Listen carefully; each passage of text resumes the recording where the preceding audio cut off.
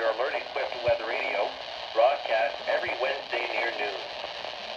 est un message test émis tous les mercredis midi sur Radio Météo Canada. Ce message est destiné à tester les fonctions d'activation d'alarme et d'affichage des nouveaux récepteurs Radio Météo.